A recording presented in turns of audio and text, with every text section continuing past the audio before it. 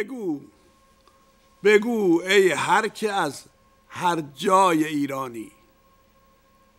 بگو ای هر که از هر جای ایرانی. بلوچی ترک گیلانی. تو ای کردی که میدانی. بگو گلگون کفن. بگو گلگون کفن. حرف تو حجت باد.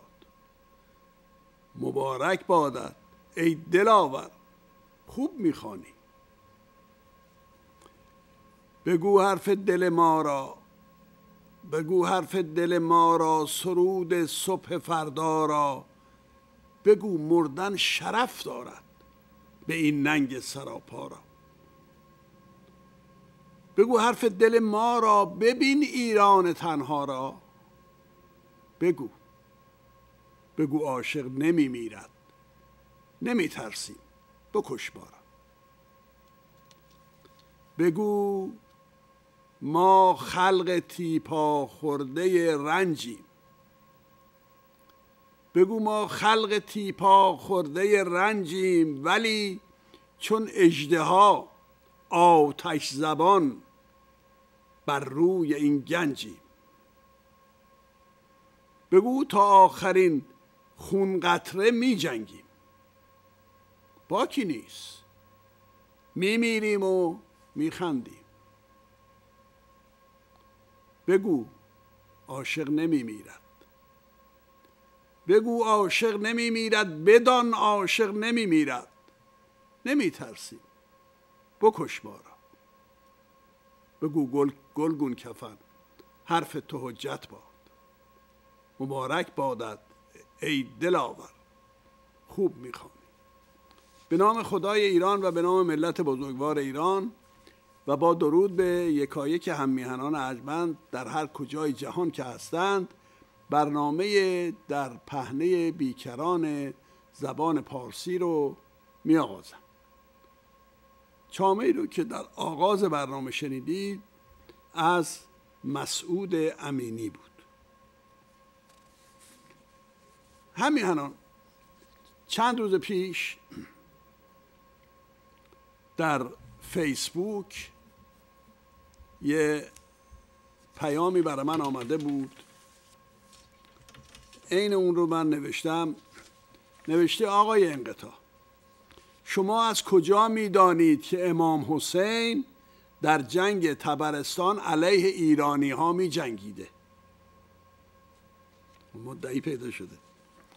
از کجا می دانید که عرب ها با ایرانی ها می جنگیدن این نیست مگر اینکه شما دروغ می گویید بینندگان ارجمند من معمولا به این نامه ها پاسخ نمیدم. برای اینکه از این آدما زیادن. یا عامل جمهوری اسلامی هم یا خودی می‌خوان به نمایونن یا یک کتابی خوندن خیال می‌کنن یک کتاب خونه رو خوندن. به هر روی زیاد وقت رو برای این کار آدم صرف نمی‌کنه. اما زمانی که این فیسبوک رو خوندم یادم افتاد که من در یکی از برنامه ها در زمینه امام حسین اون نوشته روزنامه اطلاعات زمان آخوندها رو که این آقا ازشون داره دفاع می‌کنه چاپ کرده بود. در روزنامه اطلاعات یه مقاله ای از محمد جواد حجتی کرمانی چاپ شده بود. راجع به زندگی حسین. در اونجا نوشته بود که وی در سال و عین جمله من پیدا بکنم براتون خواهم خوند که در سال سی هجرت در جنگ تبرستان شرکت کرد. اینو یا روحانی نوشته و در زمان حکومت جمهوری اسلامی در سال 1378 1357 کجا 78 کجا. این چاپ شده در همین زمان. خب اگه دروغ بود که جمهوری اسلامی جلوشو می‌گرفت دیگه یا سرسرش در میومد خب این روشنه که در اونجا تو جنگ هم که دوستان نون و حلوا خیر نمی‌کنن که جنگ شمشیر و گردنه و کشتن و کشته شدن. اینو داشته باشید. من فقط به این مسئله اشاره کردم. دنبال بقیه مدارک نرفتم چون این رو یه مدرک معتبر می‌دونستم. بعد که این آقای دانشور برداشتن دانشور فامیلشون نیست فامیلشون ننوشته نمیشه نمیشه بزرگمهر یه همچی اسمی. اسم استعار گذاشته رفتم دنبال مدرک. می‌دونید یکی از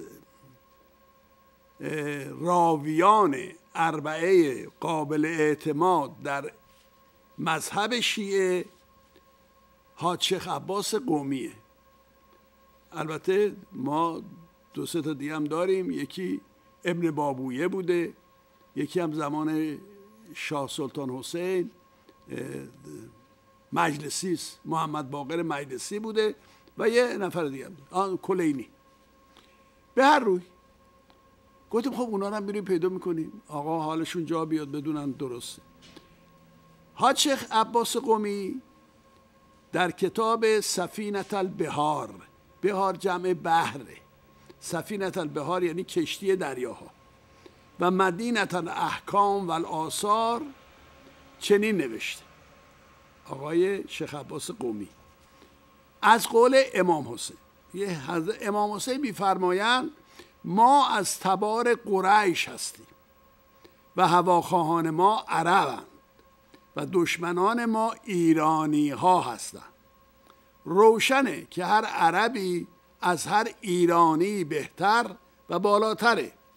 و هر ایرانی از دشمنان ما بدتر. اینا رو امام حسین فرمودن. ایرانی ها را باید دستگیر کرد به مدینه آورد زنانشان را به فروش رسانید و مردانشان را به بردگی و غلامی اعراب گماشت. اتفاقا این نامه و این مطلب یه نکته دیگر هم ثابت می‌کنه. و اون نیست که اصلا امام حسین شوهر شهربانو نبوده.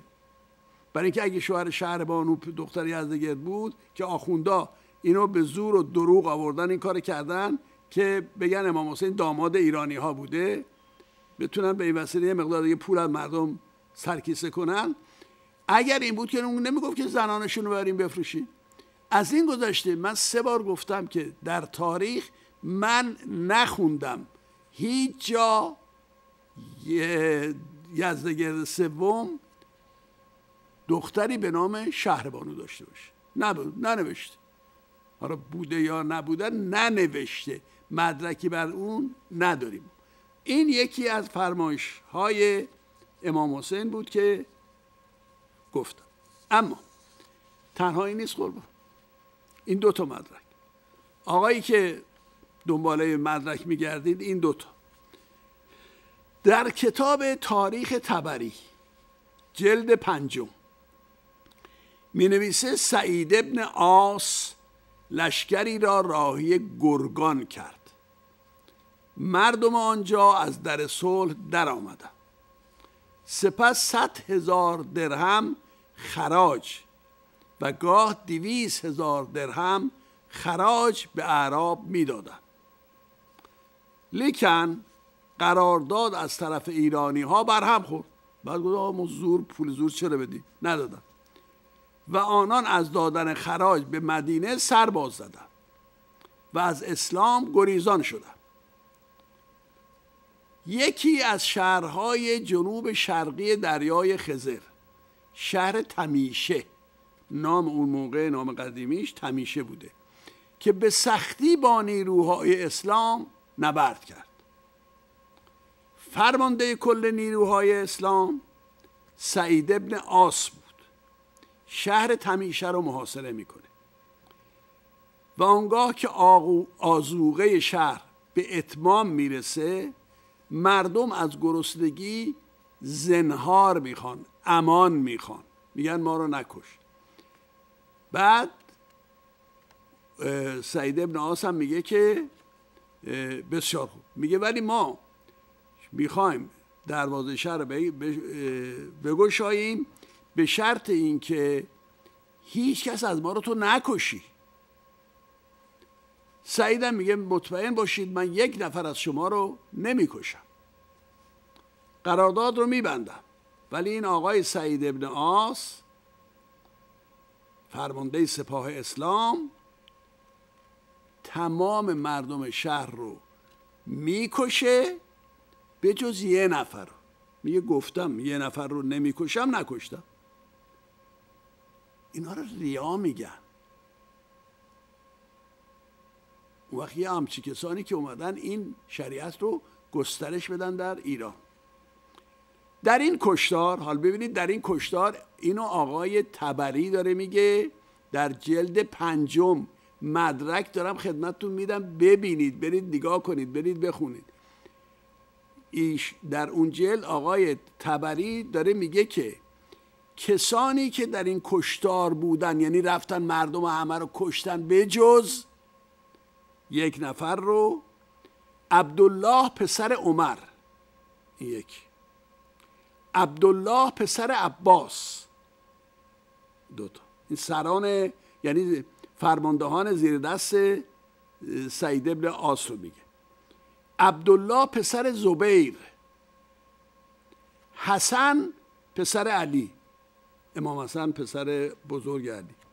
حسین پسر علی. در رأس لشکر اسلام قرار داشتن این انکار ناپذیره به همین دلیلم آخوندها دستپاچه شدن. یکی دو تا از همین به اصطلاح جستارگران و جستجوگران و پژوهشگرانشون رو گفتن که بیان پای تلویزیون های جمهوری آخوندی اینو تکذیب کنن. یه جوری تکذیب کنن. یک جور که نمی‌تونه تکذیب کنن. نمی‌تونن بگن نیست. برای که من حالا مدارک دیگری نشون میدم که حسن و حسین و حتی اون ابن علی برادر ناتنی اینها هم در جنگ عرب علیه ایرانی ها بودن. خب بله اون به اونها ایرادی نیست. برای اینکه اونها در سن سربازی بودن در سن جنگ بودن و مجبور بودن بیان. تو ایرانی چرا بعد از 1400 سال برای مرگ کسانی که اجداد تو رو کشتن تو سر خودت می‌زنی؟ سخن اینجاست. به هر روی. این اشخاص فرماندهانی بودن که چیزی. اون آقایونی که آخوندا تحریکشون کردن که آقا بیاین و جواب بدید. اینا اومده بودن جواب جالب بود. دارم من ضبط کردم پاسخ اینا نوشتن که بله بله امام حسن و امام حسین در جنگ تبرستان بودن. چون نمی‌تونستن همه همه نوشتن دیگه. من ده تا تاریخ نویس الان میارم صفحه هاشم براتون میگم که ببینید. همه نوشتن در جنگ تبرستان این دو تا برادر بودن. حتی در جنگ تبریز اون ابن علی بود که آذربایجانی های غیور اونو کشتن.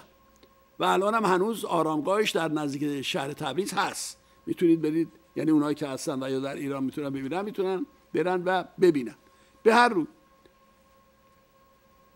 نوشتن بله امام حسن و حسین بوده ولی نرفتن برای جنگ. اینا رفتن آشتی بدن. عجب. تا حالا ما ندیدیم. یه گروهی حمله کنه سران سران اون گروه برن آشتی بخوان بدن. پس این این همه آدم به استثنا یه نفر کی کشت؟ و چرا آشتی ندادن؟ پژوهشگراشون هم مثل خودشونن. بله میگه این اینا رفته بودن آشتی بدن بین عرب ها و ایرانی ها رو. یه مدرک دیگه. در کتاب فتوح البلدان نوشته احمد ابن یحیی بلازری.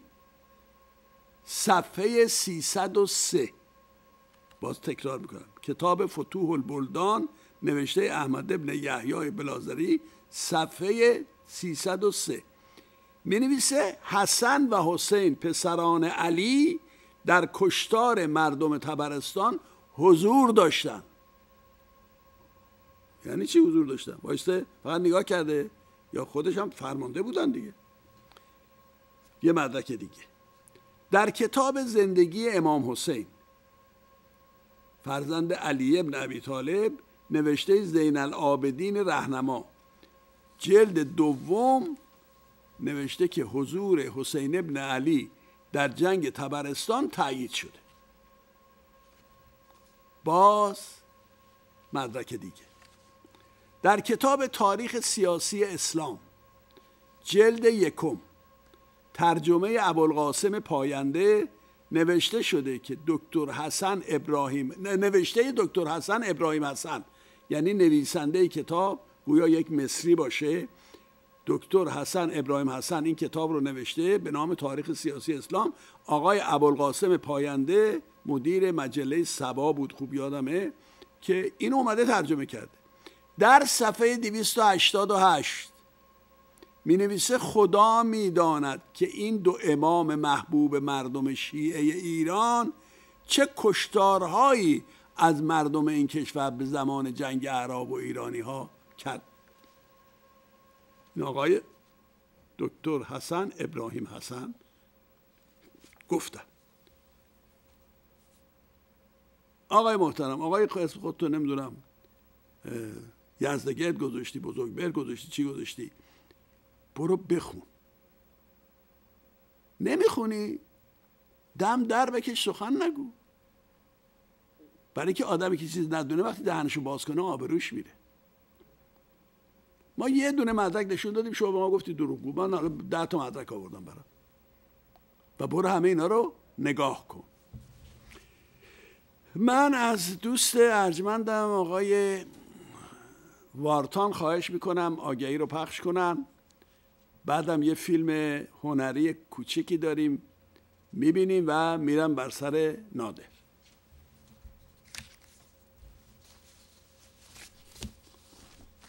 آقای بارتا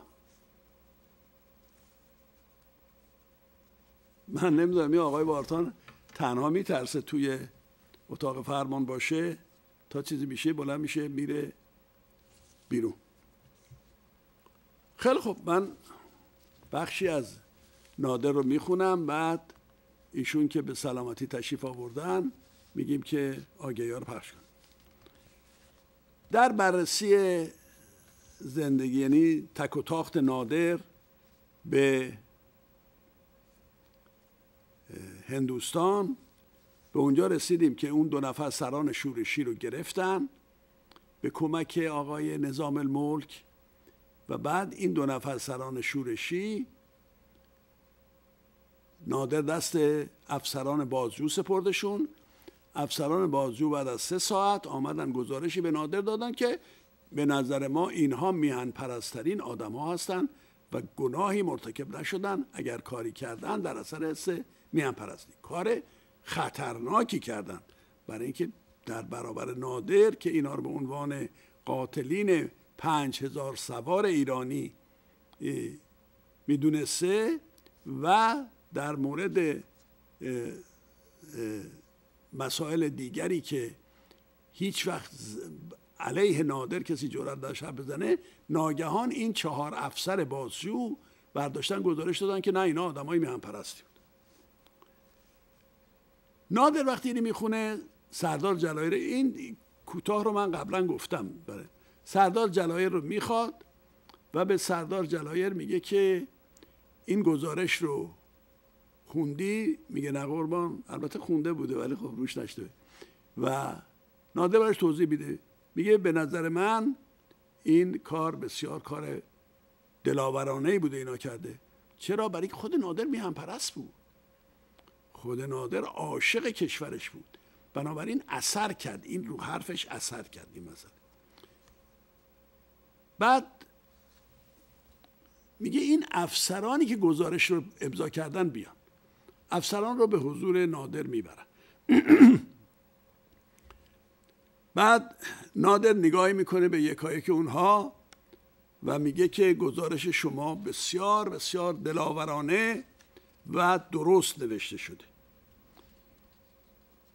بنابراین هم اکنون باز هم تکرار می‌کنم که جا و مکان و خوراک خوب و شایسته به این دو نفر بدید. تا بعدها درباره اونها من تصمیم بگیرم. و یکایک اون چهار افسر رو مورد تفقد قرار میده و میگه مرخصید کارتون بسیار شایسته و دلیرانه و ستایش انگیز بود افسران یاد شده که غرق غرور, غرور شده بودند که این همه نادر تعریفشون کرده از حضور نادر مرخص میشه. بعد از رفتن افسران بازجو و گزارشگر و پس از مرخص شدن سردار جلایر نادر در خلوت خودش میره به فکر فرو میره.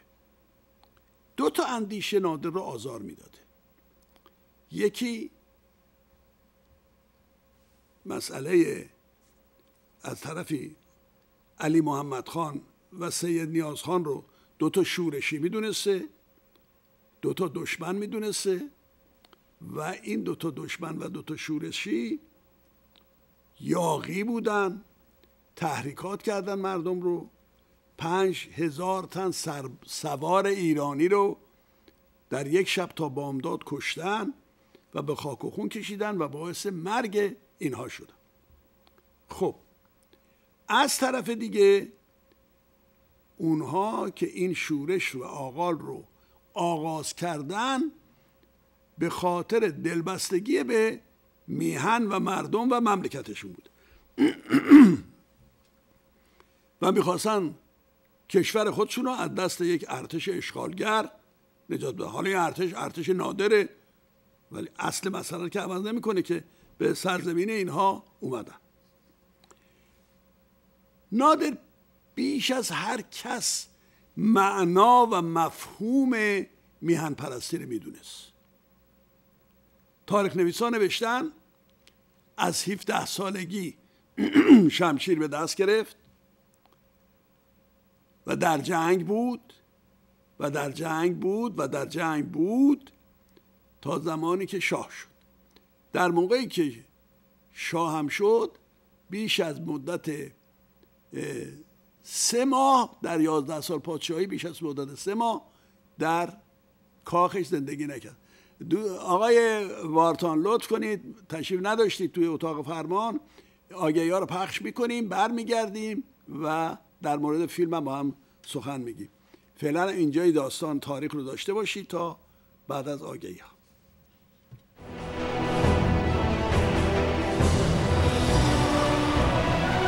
یک ملت را دو ستون استوار می‌تواند بر سر پا نگه دارد. فرهنگ و آینهای ملی تاریخ و قهرمانان دلاور او که راهگشای مردم به سوی آینده هستند. استاد ناصر انقطاع در درازای 24 سال کوشش های فرهنگی و سیاسی خود در آمریکا دست به چاپ و پخش 20 جلد کتاب در زمینه های سیاسی، فرهنگی و تاریخی زده است تا همیهنان خود را به پیشینه نازش آفرین خیش آگاه کند. پژوهشی درباره هفت سین جشنهای ایرانی و ریشه آنها روزهای آوارگی زندگی پرفراز و فرود نادرشاه پنجاه سال تاریخ کنونی ایران. طوفان زرد تک و تاخت مغول به ایران. امیر کبیر مرد بزرگ تاریخ ایران. در جرفای واژه ها و شناخت زبان پارسی. شیر و خورشید نشان سه هزار ساله. بابک ابر قهرمان جاودانه ایران حافظ و کیش مهر. شیر گریان یعقوب لیز مرد برتر تاریخ ایران. تلفن سفارش کتاب 661 254 87 57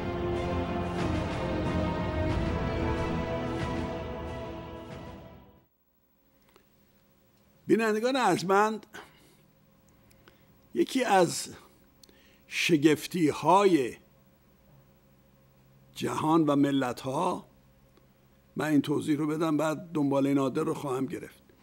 یکی از شگفتی های ملت ها به ویژه ملت ایران که در درازای تاریخ واقعا صدمات و آسیب های کشنده ای بهش وارد شده ولی خودشو نگه داشته انتقال فرهنگ و دانش و هنر از نسل گذشته به نسل آینده است. یا از نسل گذشته به نسل کنونی و از نسل کنونی به نسل آینده است. فیلمی که الان می‌بینید یک جوان 20 ساله 19 ساله است پیش آقای ایرج خواننده معروف آمده و داره استعداد خودشو می‌خواد به ایرج نشون بده. ایرج که می‌دونید به قول آقای شجریان پرسیدن ایرج رو چگونه می‌دونی؟ گفت ایرج متر هنر خوانندگیه. هر کسی رو می‌خواید ببینید خوانندش خوانندگیش در چه حده با متر ایرج مترش کنید. در برابر اون بذاریدش معلوم یعنی اینقدر به این آدم احترام می‌ذاره آقای شجریان. این جوان هم می‌خواد آقای ایرج این استعداد این رو آزمایش کنه. با هم گوش میدیم و برمیگردیم. در این زمین هم یک کمی سخن میگیم. بفرماد آقای وارتان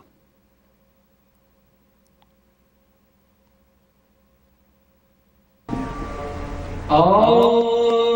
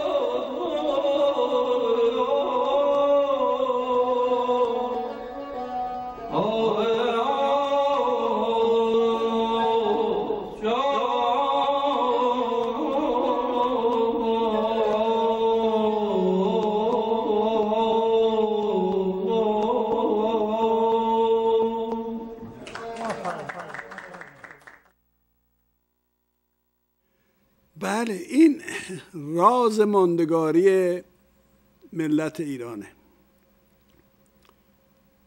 هنرها رو به هم میسپرن فرهنگ ها رو به هم میسپرن آین ها رو به هم میسپرن دانش ها رو به هم میسپرن و گام به گام جلو میرن و بعد ایرج ها پیدا میشه و بعد از ایرج ها ایرج دیگره ایرج ها پیدا میشه و همچنین بقیه هنرمندان و هنروران. بنابراین اینهایی که میان میگن بله حالا 1400 سال خدا نگه داشته امام زمان رو که هر وقت خواستن اجازه بده بیاد بیرون. خدا کاری نداره. و خب فردا یکی رو مثل اون از شکم یه آدم معمولی هم میاد بیرون. ولی قدرت مخصوص و معمول اونی که باید بهش بده میده خداوند. این جوان چجوری الان ناگهان پیدا شد؟ نه نسبتی با ایرج داره نه هیچی ولی عینا ایرج می‌خونه در مورد نجات دهنده ایران هم همینطور بود. مگه نادر رو خدا غیب نگهش داشته بود؟ سالها گذشت وقتی که صفویه ضعیف شد شاه سلطان حسین خرابکاری کرد. نمی‌دونم امثال این آخونده ای که با شاه سلطان حسین بود و مردم همه رو بدبخت و بیچاره کرده. بالاخره محمود افغان هم اومد گرفتش اینا. مگه اینها همشون زمان که از بین رفتن کسی بنا بوده مثل نادر پیدا شد یهو پیدا شد. یک نوجوان ایرانی از شمال خراسان پله پله گام به گام اومد و این تکه پاره های ایران رو به هم چسبون. حالا چپگرایا هستن نمی‌دونم آخوندها هستن. به خصوص آخوندها که می‌خوان خراب کنن افتخارات ملی رو میگن بر آقا جون نادر آدم کش بود اینا. مثل که خودشون نیستن. خودشون هم آدم کشن دیگه. آقا برای حکومتی که میشه نگه برای نگه داشته اون حکومت اون حکومت که تکه پاره شده بود نیاز بود به خشونت و قدرت. و اون چی که ما الان داریم تهمانده اون چیزهایی که نادر با عرق جبین و به خطر انداختن خودش. بارها زخم برداشت بارها از اسب به زیر افتاد در اثر ضربه شمشیر. ولی باز نترسید. کاری که می‌خواست انجام داد. به هر در اینجا هم صحبت بر سر همین بود که نادر بهتر از هر کسی مفهوم میهم پرستی رو می‌دونست. بنابراین از نظر خودش این بود که این دوتا آدمای گناهکار به اون صورت نیستن برای کشورشون کار کردن و برای ملتشون کار می‌کردن. این بود که نمی‌خواست ته دلش نمی‌خواست این دوتا رو گناهکار بدونه. چون خودش رو هم از همون رد مردان می‌دونست. خودش رو هم از همون تیره می‌دونست. می‌دونست که اونا مردم و هم میهنان خودشون رو دوست دارن و خودشون رو به خطر انداختن. اومدن این کار کردن. اونا هم زندگی راحتشون رو رها کردن. اونها هم به این کوی و آن کوی و این خانه و آن خونه و این ور رفتن. جان خودشون رو به خطر انداختن. بنابراین نه تنها سزاوار کیفر مرگ نیستن که باید در برابرشان کرنش هم کرد. البته ته دل نادر این بود. شب از نیمه گذشته بود که نادر یک بار دستهاشو به هم کوبید و نگهبانان رو فراخ و دستور داد فورا سید نیاز خان و علی محمد خان رو به پیشگاهش بیار دو تن سرکش گرفتار رو که هر لحظه چشم راه افریت مرگ بودند بیدرنگ از زندان به نزد نادر آوردن. اونها که از قدرت و حیب چون تا اون روز نادر رو ندیده بودن از نزدیک. دستگیر هم که شده بودن ندیده نادر گفته بود برن این افسرها رو بیارید ببرن بازجوییشون کنن. پس اینا نادر رو از نزدیک ندیده بودن. ولی اینجا که دیدن اینجا که اومدن فکر می‌کردن که خب نادر رو ببینن که چه حیولایی چه قدرتی از قدرتش که خود مطمئن بودن. وقتی که آوردنش در برابر نادر این دوتا رو نگه داشتن اینا از ترس میلرزیدن و دستهاشون هم بسته بود و در برابر نادر ایستاده بود. نادر گفت بجز این دو تن هیچ کس در شبستان مسجد نباشه همگی برن بیرون. سپس در پرتو افروزه هایی که روشن بود خوب به چهره هر دوی اینها نگریست. حس کرد بسیار خسته و شکسته هستم. گفت من به شما حق میدم. من به شما حق میدم که برای دفاع از کشورتون کوشیدی. من از دلاوری و بیباکی خوشم میاد. اما چرا این میهم پرستی و دلاوری و بیباکی رو در میدان جنگ کرنال از خودتون نشون ندادی؟ شما میباید پیش از اینکه سپاهیان ایران به نام میهمان وارد دهلی بشند مردم را تهییج می‌کردید. در اون هنگام هم من و هم سپاهیان من به نام میهمان وارد دهلی شدیم و دیگه با شما دشمن نبودیم. در حالی که اگر قبل از آمدن به دهلی شما مردم رو بسیج می‌کردید من و سپاهیانم شما رو قهرمان می‌دونست اما مهمان کشی اونم در شب تاریک به گونه نامردانه اون دیگه جوانمردی نیست. سید نیاز خان و علی مراد خان که تا پیش تا علی محمد خان که تا پیش از دیدار نادر می که با یک دیو بی منطق و بیرحم روبرو هستند با شگفتی تمام چشم به دهان نادر دوخته بودند و یک یک کلمات نادر رو در مغز خودشون حلاجی می‌کردن و با گوش جان میشنیدند و در درون خودشون داوری می‌کردن که خب حالا با اینجور صحبت ها ما چیکاره میشیم؟ زنده ایم یا مرده ایم؟ ولی فهمیدن که با یه آدمی روبرو هستن که درد شناسه که میهم پرستی رو می‌دونه یعنی چی. و اون سرشت پسندیده ای که نادر داره و اینا فهمیدن این که خودش جای اینا گذاشته. نادر سخنان خودش رو دنبال کرد. گفت ای کاش شما همه هواداران خودشتون رو گرد می آوردید نیروی بزرگی تشکیل می‌دادید و مردانه با ما می جنگیدید در آن صورت از دو حال خارج نبود.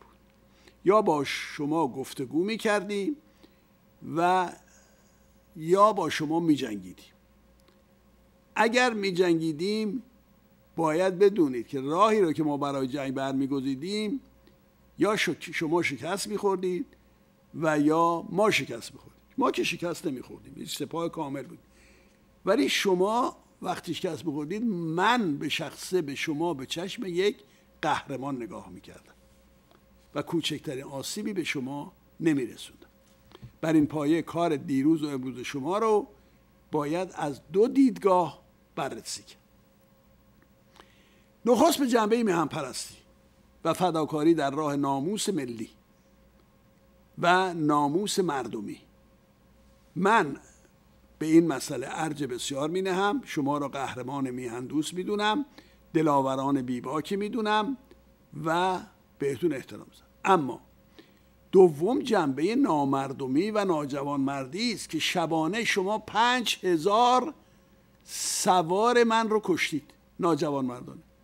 میله آهنی به دست آوردید یک ضرب به دو تا پای اسبش اسبهاشون زدین در تاریکی و وقتی اسب سرنگون شده اینا هم افتادن کشتیرشون این رو نمی‌تونیم بگیم جوان مردی این از پشت مورد حمله قرار دادنه و اسب های بیگناه اونها رو هم کشتیم.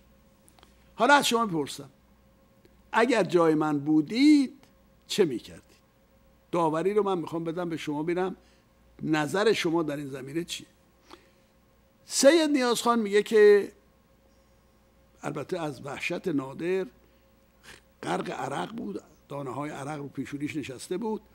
و چون دستاش بسته بود نمی‌تونست یه عرقا رو پاک کنه میگه که همونطور که حضرت نادر دانستید که ما به انگیزه عشق به میهن و وطن به چنین کاری دست زده ایم برای ما کافی است. ما سخن دیگری نداریم و تسلیم نظرات شما است. ما در دست شما گرفتاریم. هر کاری می توانید با ما بکنید. اما من شادمانم که دشمن دانایی در برابر من ایستاده و در درد من رو که درد میهن و درد مردمه به خوبی درک می‌کنه. همین برای من کافی است. اما در مورد حمله به سواران شما به این سواران ایرانی در اون شب تاریک و کشتن اونها باید من به شما بگم که به هر حال در هر کاری که از پیش برنامه ریزی دقیق نشده باشه اشتباههایی رخ میده. به ویژه که شخص در این کار با مردم بیمسئولیت سر و کار داشته باشه. و ما میپذیریم که این کار ما نیست اشتباه بوده نادر مدتی خاموش بیسته در حالی که سرش رو به زیر انداخته بوده زمین رو نگاه می‌کرده گهگاه از زیر چشم نگاهی هم به این دو می‌کرده و دوباره به اندیشه فرو میره. هیچ کس یارای اون رو نداشته که وارد تالار بشه. هیچ کس جرأت نداشته که بیاد نظاره یا نظارت کنه و یا نظر بده. این بود که سکوت در همه جا فرمان میره روشن بود که نادر داره درباره دو چیز فقط فکر می‌کنه. مرگ یا زندگی این دو نفر. ولی همین مرگ یا زندگی دچار تردیدش کرده بود. و شاید برای نخستین بار بود که نادر در گرفتن تصمیمی چنین مهم دچار دشواری شده بود. برای اینکه بگه مرگ یا زندگی زمان یک دهم ثانیه هم کافی بود. اما همین که این مردی که هرگاه بخواست تصمیم بگیره آنن تصمیم می‌گیره نتوانسته بود تصمیم بگیره برای این بوده که مسئله براش وجدانی بوده. مرگ و زندگی برای اون دو نفر مهم بوده. برای نادر که مهم نبوده. خب اینا از این آدم ها در جنگ ها خیلی کشته میشن. برای اینکه مبادا این آدم ها اون رأی که نادر میده خلاف انسانیت و خلاف عدل و خلاف اون واقعیت اصلی باشه نادر رو دچار تردید کرده بود.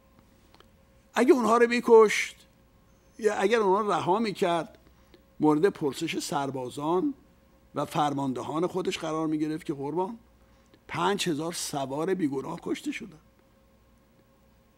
این سوگواران این تمام این سربازایی که الان هستن سوگواران برادران برادران خودشون هستن. از این گذشته اگر ببخشید اینها رو تو, تو مغزش فکر می‌کرده. اگر شما اینا رو ببخشید همه کس حوث سرکشی به سرشون می‌زنه. و میگه خب ما که کشته شدن این نیستیم بنابراین می‌کنیم. و اما اگر اینها رو میکشت با خودش میگو من دو تن میهن پرست رو کشتم. که اینها تنها به خاطر بیرون راندن بیگانگان از خاک خودشون دست به این جنبش به این کوشش و به این اقدام بسیار مهم زدن و این مورد مهر و دلبستگی اکثریت قاطع ملت هند هم هستن. بنابراین آیا من می‌تونم اینایی که ملت هند انقدر دوستشون دارن بکشم شش هفت دقیقه برای نادر شش هفت ماه گذشت.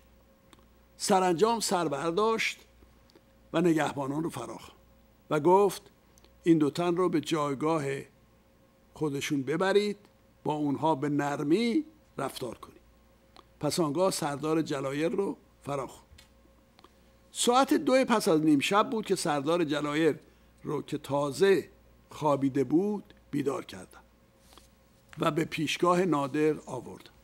نادر گفت سردار من خیلی با خود ستیزیدم.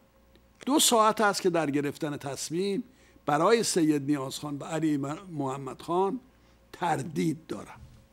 سرانجام تصمیم گرفتم که اونها رو بکشم. زیرا نمی‌توانم از خون سربازان و سواران خود بگذرم. دستور بده فورا دو دار در برابر مسجد روشن و دوله برپا دارم و سه ساعت دیگر که سپیده میدمد هر دو را به پایدار بیاورید و به دار بیاویزید. فراموش نکنید که پیش از به دار کشیدن آنها از ایشان بخواهید که هر آرزویی که دارند بگویند و موظفید همه آرزوشون در ساری که به هیچ روی منع قانونی و ملی نداشته باشه انجام دهید. خیلی دلم می‌خواست از گناه آنها بگذرم اما جز اینکه گفتم چه بکنم؟ میترسم دوباره آتش شورش شورش زبانه بکشم سردار جلایر بیان که نظری بده با یک حمله با یک جمله اطاعت می شود احترام شایسته ای رو به جای آورد و بیدرنگ بیرون رفت.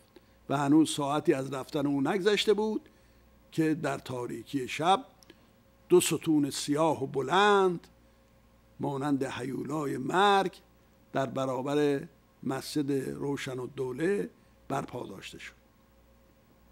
سپیده بامدادی تازه دمیده بود که سید نیاز خان و علی محمد خان رو از خواب بیدار و فرمان نادر رو به اونها ابلاغ کردن.